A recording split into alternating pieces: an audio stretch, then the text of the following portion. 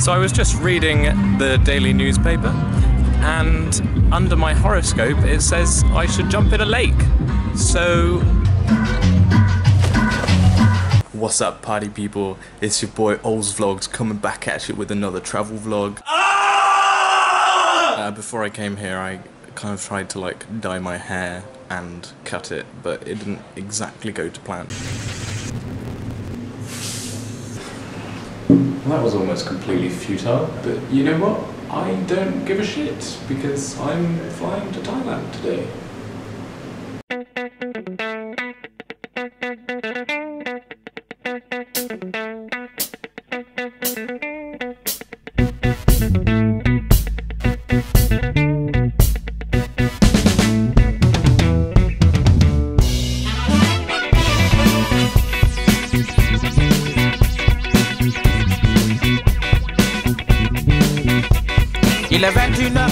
Um, I'd also just like to do a quick shout out to the best hostel I've ever stayed in in my life, uh, the Yard. So if you're ever in Bangkok, you should definitely, definitely check it out. So at the moment it's 10 a.m. and we are about to get the bus to Pattaya. How does this make you feel?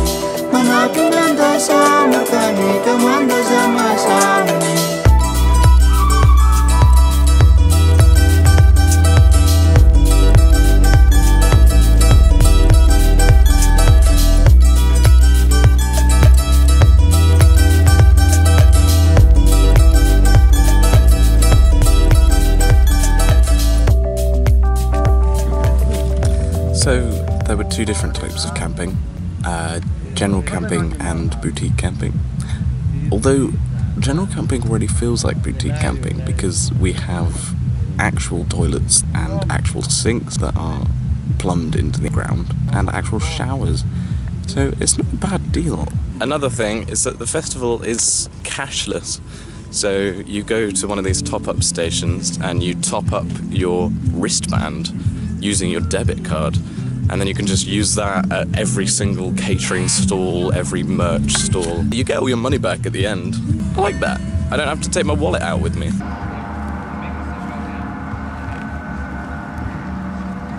Turns out it's too hot in the daytime, so everybody just meditates and does yoga and talks. They're talking about very strange things. Ah. Well, my new favourite stage is the solar stage.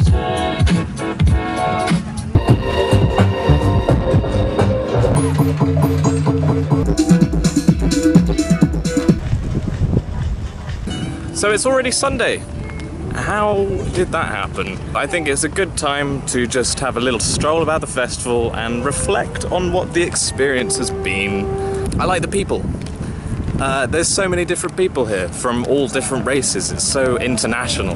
The festival itself is also completely carbon positive. They're planning on planting 10,000 mangrove trees in Myanmar. Also, there's no general waste whatsoever. Everything is recycled. All of the cutlery and crockery that you get given at the food stalls is all recyclable, and all of the bins help you to separate things. There's beds like fucking everywhere, just beds. And during the day, it reaches about 32, 33 degrees, so everyone just sleeps on beds.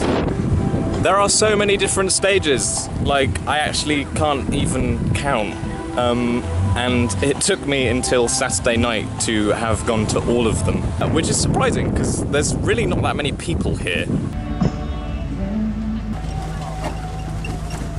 I guess one of the only major downsides of this weekend is that yesterday I did get food poisoning, which is probably why I wasn't able to film as much as I would have liked.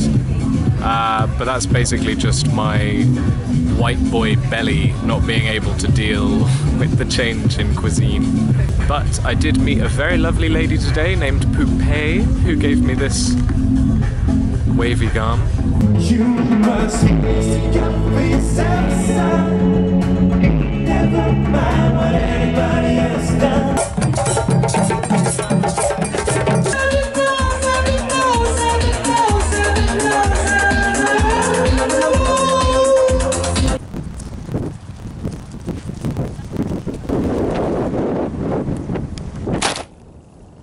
Yeah, so I'm back in Bangkok. I feel a lot better. Thank you for your concerns. Um, the food poisoning did kind of put a dampener on things, but I tried not to let it ruin my spirits, you know, I still had an amazing time. I think one of the best things is that it's actually a really good festival, even if you're not drinking or taking any drugs. Like, you can just enjoy the vibe and the atmosphere.